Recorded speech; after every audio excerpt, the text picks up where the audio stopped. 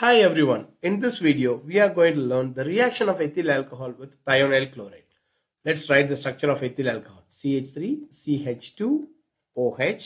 We are going to react it with SOCl2 that is thionyl chloride in presence of pyridine as a catalyst. What happens?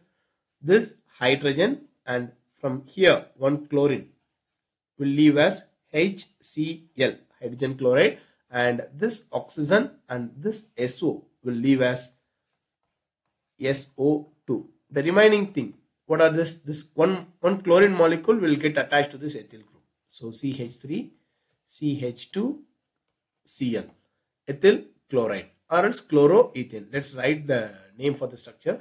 This is ethanol or ethyl alcohol and this is thionyl chloride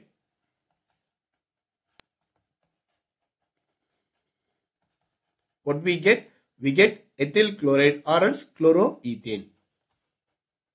Ethyl chloride.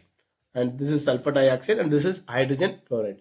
Let's summarize the reaction. If we react ethyl alcohol with thionyl chloride in presence of pyridine, we get ethyl chloride. Thank you.